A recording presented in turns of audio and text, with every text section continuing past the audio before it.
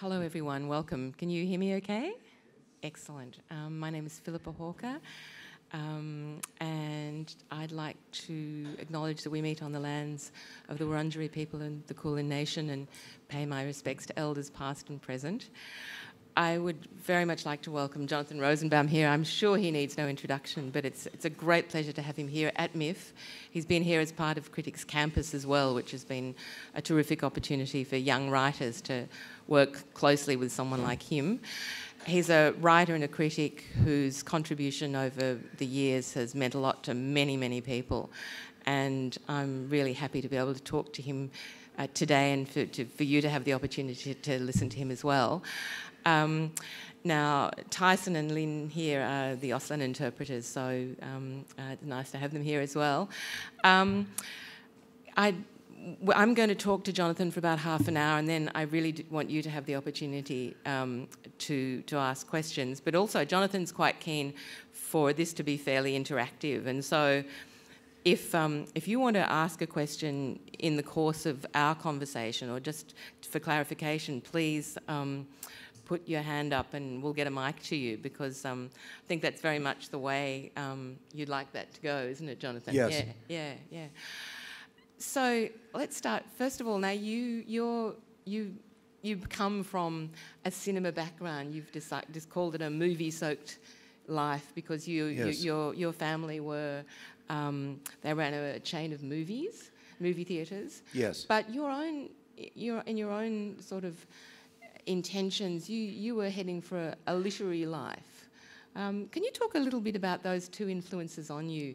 The, the, the movie background of your family, but also your, your desire to, be, to have a literary career and how that affected you as a film writer, as a film critic? Well, um, one thing that's probably pertinent in this in a way is that my father wanted to be a writer and never quite managed. He got stuck during the uh, depression, and then he was uh, he wasn't able able to get teaching jobs, and so he finally, for him, it was a kind of capitulation to wind up working for his father's business, which was the movie theater business. Um, but I grew up in a house full of books. From a very early age, I wanted to be a writer, and um, and also I had some some limited, but for me significant successes when I was quite young. Um, like in junior high school, I won first prize in a poetry, you know, national poetry, uh, junior scholastic writing awards it was called, and I and I published, uh, I sold this a one-page story to the magazine of fantasy and science fiction when I was 13. So that those were kind of things that were made me feel set up for a literary career, although I never succeeded in in selling any other stories after that. So. But it was you, kind of a wrote, short-lived. You wrote novels, though. I did write, well, I wrote my first novel in high school, and then I kind of substantially rewrote it when I was in college. And then I wrote one other novel after that. Mm. Um, none of them ever published. Um, and I think to this date, I've only put on my website, where I've included some juvenilia, one chapter from the third novel. I haven't done any, included any other. Maybe at some point I will. I don't know. I'm not sure even how I feel about those uh, novels now.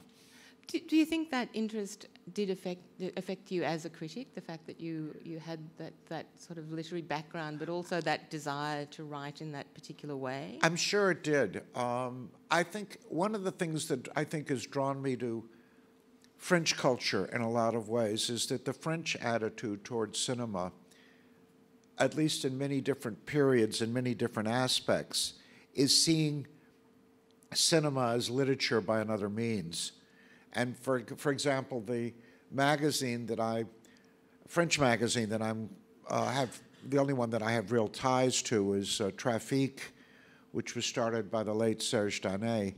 And it's really a, I interpret what it does as being a literary magazine about cinema.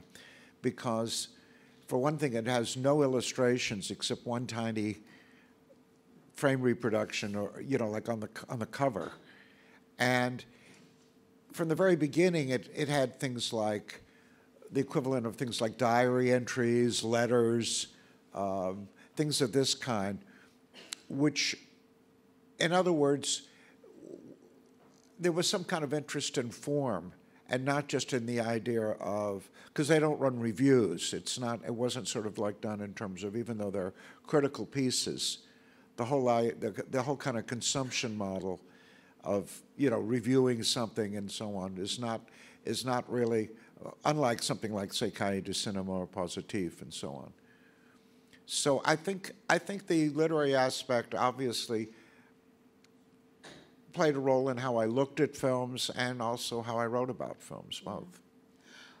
When with um, with your book um, placing movies, there's a couple of things you say at the beginning about your approach to um, to reviewing, and one of them is that you think that it is subjective, that criticism is subjective, and there's nothing wrong with that, but also that um, that it's um, going to films and writing about them is a social activity. Yes. Can you can you talk about those two things because they're they're in some ways they they don't seem to hang together, but in other ways they they, well, they I, speak to each other as well. Well, I do think that it's even though I don't believe that objectivity is possible in criticism, I do believe it's very important that one objectify one's subjectivity, which is to say, one one reason why I consider subjectivity so important is because it tells you where the positions come from and where the biases even come from. And so that it,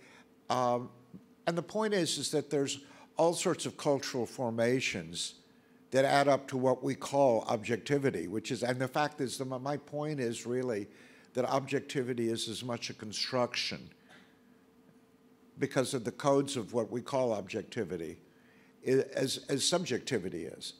Um, as for the idea of it, be, of it being social, I think that's one of the interesting aspects for me about what's happened with online criticism is that it seems to me that film criticism has always been social, but it's social now in a different way from the way it was before. Partly because the social aspect before was based on the premise of a lot of people seeing the same films at the same time in the same places. And now it seems to me there's something that's not exactly criticism, but let's say a critical discourse that starts earlier and finishes later, that's not based on the, let's say, the, the, what we usually call the consumption cycle, which is, of course, a kind of uh, prison for reviewers because it, it, it usually involves making whatever you're writing about in a given week seem important, even if it isn't important, and then promptly forgetting about it the next week so you can make room for the next film to consume and forget about. Um, whereas it seems to me that when you have this broader palette which exists on the internet, it also makes the idea of conversation much more central to what's going on.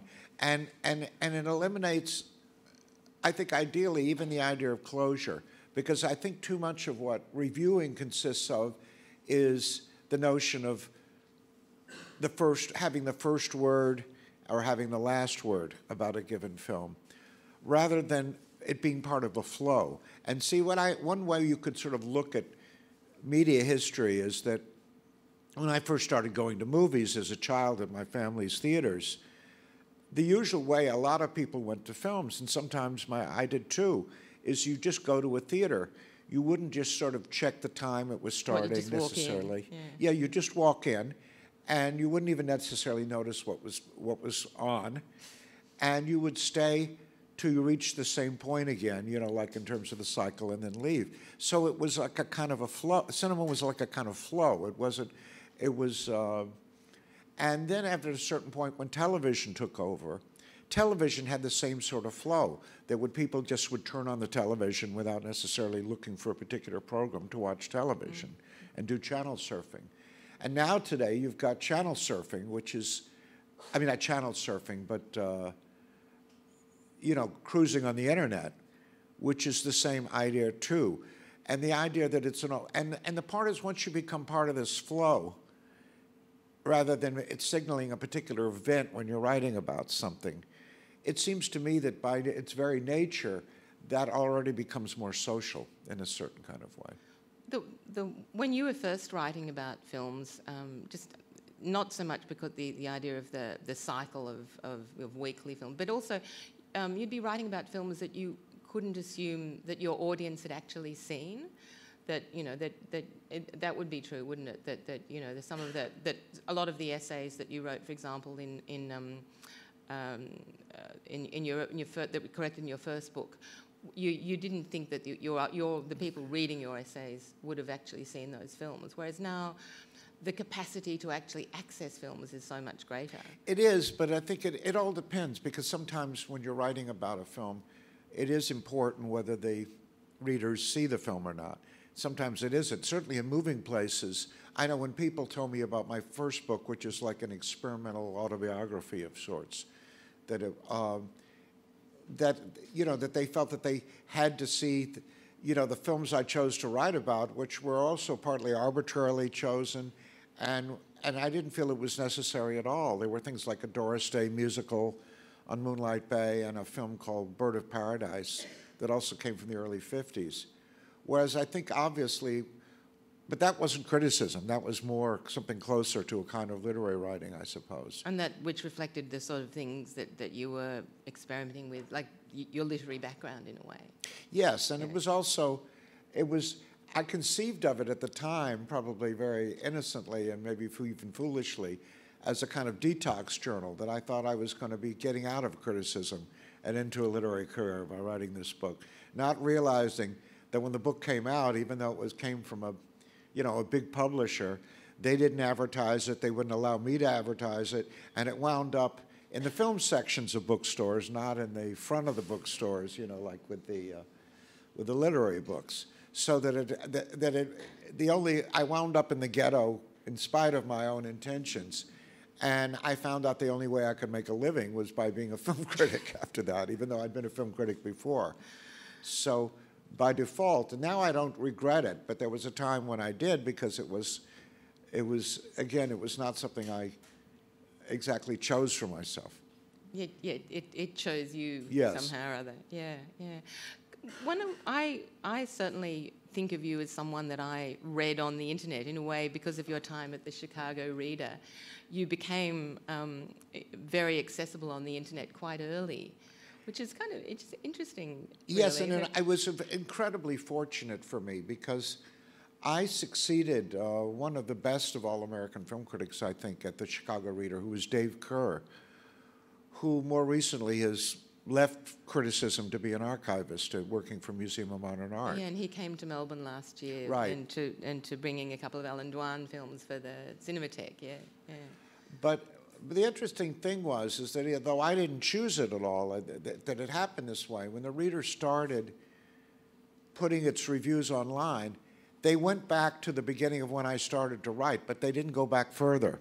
So none of Dave Kehr's pieces for the reader were online, with the consequence that I think that a lot of his very wonderful body of work was kind of lost until very belatedly a collection came out called When Movies Mattered. Although I think one of the ways that his position differs from mine is that he puts that in the past tense. you know, it's sort of like this, this lost golden age. And he has a second volume that will be coming out, I think, next year.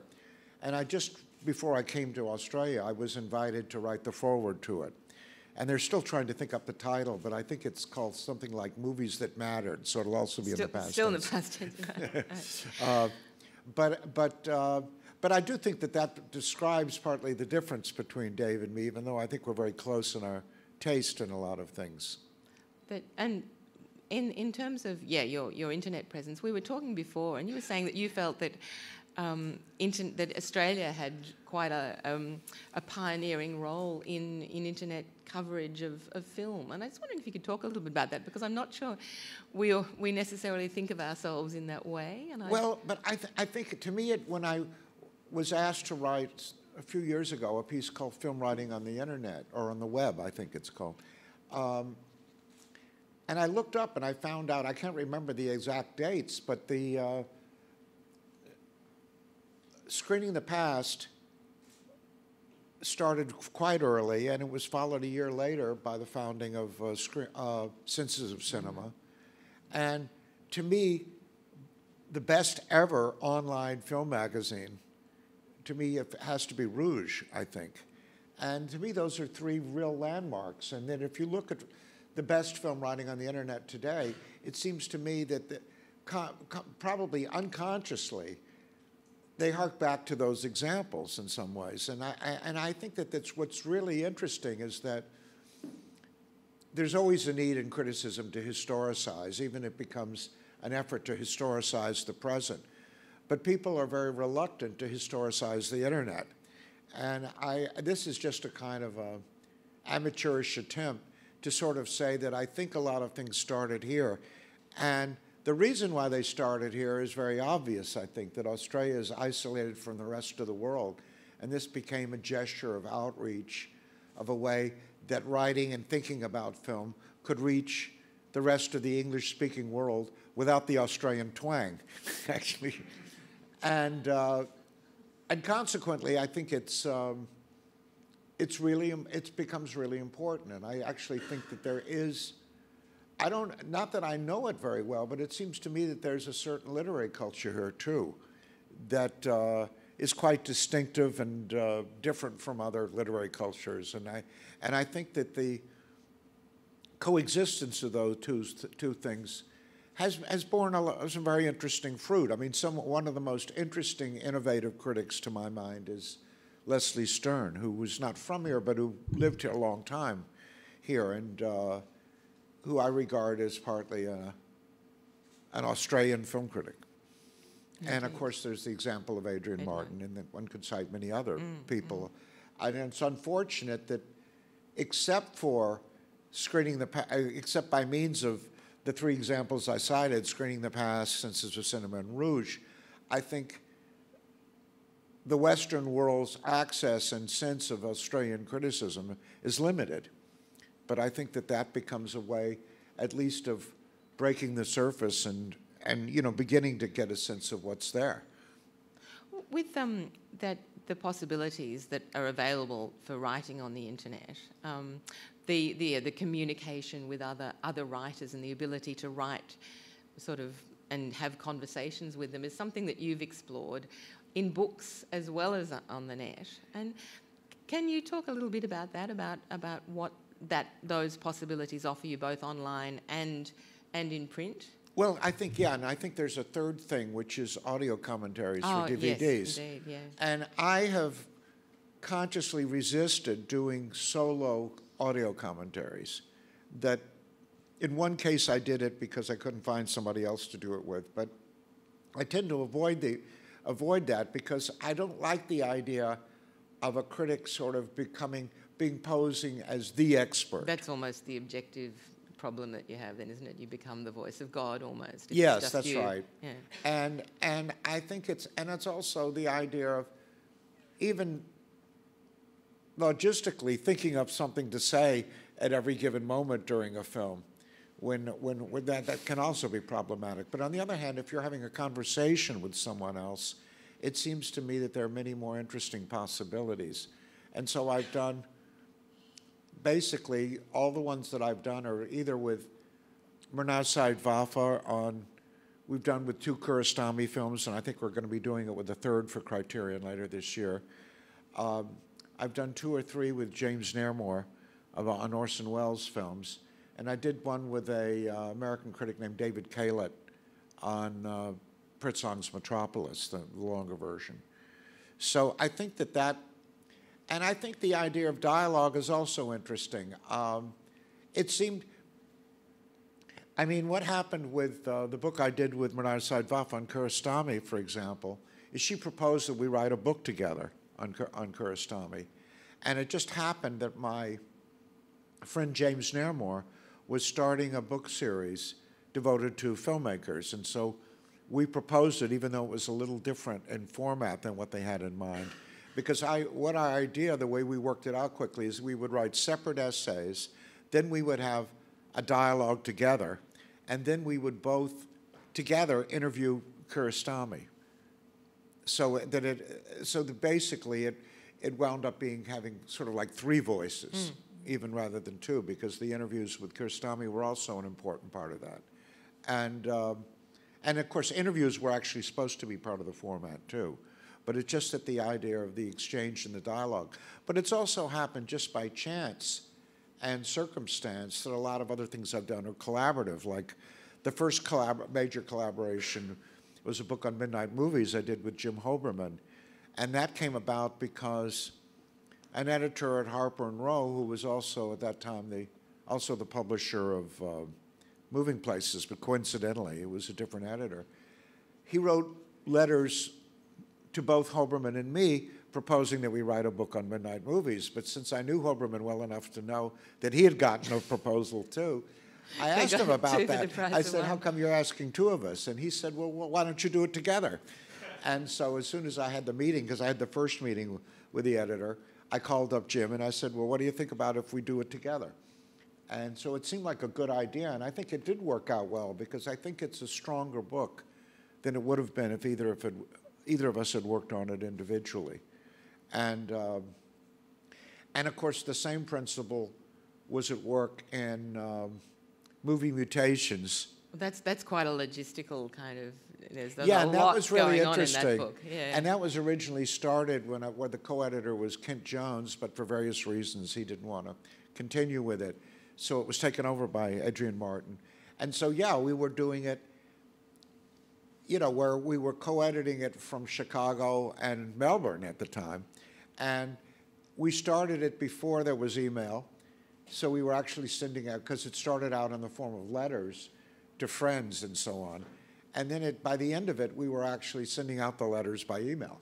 So it actually, during the years that we covered it, was really the, that transition period, which also became important. And I, I think technology always has a role in some of these techniques because I never would have written my book Moving Places. Certainly, I wouldn't have written it the same way if I had had access to DVDs and uh, even video at the time I was writing the book, because the idea of these films being almost like inaccessible, except if you just happen to see it on television or if you can tape taping the soundtrack and then playing it back to evoke it.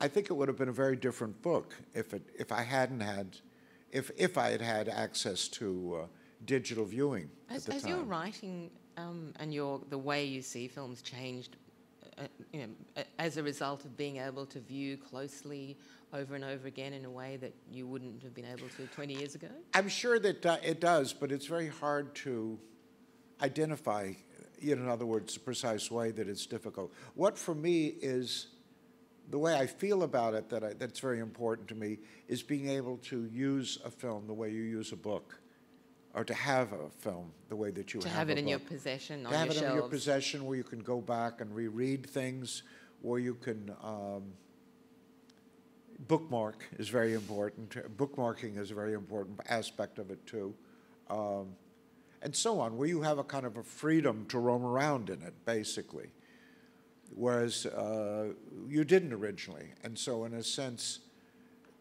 the very fact that you couldn't roam around in it was what made me want to write a book in which I did roam around in the in the films in a certain way. Yeah, yeah.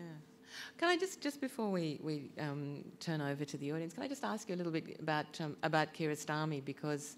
Um, he, he came here um, at MIFF in 2003. It was a, it was wonderful to have him here with a, a retrospective, and, it, there's a real sense of loss that that to, that he's you know I'm sure you're still quite um, affected by it. And, yeah, and, no, I mean, it's devastating. Yeah, yeah. Um, and one thing that's not widely known that I was mentioning to you earlier is that it's not even a death that was inevitable or necessary. That he had gone into the hospital for a polyp in Tehran, and but it was during an Iranian holiday, and he had to get replacement doctors because the others, the main ones, were away on holiday then, and they botched the job, and that's at least this is what's claimed by his son and by certain colleagues like uh, Darius Mehrjui has made a public statement about it, and the son is actually suing the hospital or the doctors involved for medical incompetence. And, uh, and part of what they were outraged by was the fact that um, he didn't even know how serious his condition was until it was basically too late to do anything about it. Oh, such a loss. So that makes it even worse, but I think it's also that he was an, a he was a figure who was in such constant evolution Yeah, and can- change that it was like I, I wrote recently that he had. It's like the one thing he has in common with Godard is they both had as many periods as Picasso, um, and you never could predict what the next one would be like. Um, and it seems to me that being deprived of the whole latter part of that evolution is part of the great tragedy of that. And part of it is personal. He was a wonderful person. Um, and I miss him in, in that way also. Uh, Do you, have you written sometimes with that knowing that you're you like and and would um, want to be an advocate for a film that no one else likes, and you that's part of, of what you're doing? Um, have you had that experience of writing that way? Yeah, it's happened, but some people say that the reason why I like it is because it's so obscure, uh, which I don't think is true, actually, because there are films that, although one feels protective of things that are misunderstood and undervalued, obviously, and so that plays a role, I guess. And, but I mean, when people said, when people used to criticize me at the reader and saying, why are you always writing about films I've never heard of? I, fe- I felt like responding, what you really mean is, why are you writing about films that don't have multi-million dollar ad campaigns? Um, and the point, and, and in fact, I feel it's more functional to write about films that don't have them because you're all they have. They don't have that. They don't have all that uh, advertising power, you know, to kind of make fe- people feel that they have to see them.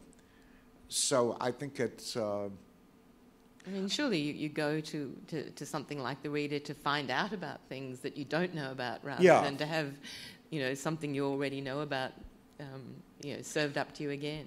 Right, but it, but there's a certain kind of way. It's a, it's a very strange mentality that people judge critics by how much you know, like what they like corresponds to the box office receipts and things like this. So it's as if, uh, you know, like they. Whereas it seems to me that I, the critics that I've learned the most from are not necessarily the ones I agree with. Um, I think it seems to me any critic that I mean, one thing I've always loved to kind of cite, it was said to me when I once interviewed Jean Luc Godard, and he said, I want to be regarded as an airplane, not as an airport. And, and I took that to mean people take me to where they want to go and get off. So the destination is not me, it's where they want to go. And it seems to me that that's what criticism should be used for. And you, can, you don't have to use it for the same reason that the critic is using it for. You can use it for your own purposes. And I tend to be, I think, as a critic, a scavenger. I mean, you know, in other words, that if, I, that's why, for example, I like to quote other critics if I think that they help my argument or they help what I, you know, or I feel that they enhance my appreciation of a film. I don't feel that th- there's any kind of rule against, you know, like citing other critics and so on. Whereas a lot of other people, the, uh, colleagues of mine, would never do that because they feel like it's cheating or something. Whereas I just feel use whatever comes to hand and whatever is useful in making your point. And if that becomes what other critics say, sure, go do, you know, do it. That's that's my bias. Yeah, sometimes it feels like that the notion is it has to be yours and your, your opinion and yours only. Yeah. And if that it's some sort of um, contamination if you if you import the ideas of another critic. I think that's often what people people are meant. It's just meant to be your voice. Yes. And that's I think that's that's can often be problematic. But I've, I've always felt that there's a, that the best writers really are ones that convey multiple voices because I wanted originally, the one thing I didn't get that I wanted to do in Moving Places was to include two short stories by other people and two essays by other people. As, you know, as, and embed them in the text and get permission to reprint them and so on. And because it, it was important to me, as even though it was a book about me, I didn't want to feel it was a, people to feel it was a book only about me. And I also felt that what I part of what I had to say was said by these other people. Um, but uh, I think, in any in any case, in some ways, writing movie mutations, or rather editing, co-editing, and partly writing movie mutations, was a step in the same direction. Because, and, and particularly because in there, I didn't even know which direction the book was going to go in. but I wanted to get on this vehicle that took me somewhere. We're back with those aer- aeroplanes again, I think, aren't we? Yeah. Yeah. Um, look, thanks so much to Jonathan Rosenbaum. It's been a real pleasure to have him at the festival and, and, um, and to be able to have the opportunity to talk to him. So please thank him again. Thank you.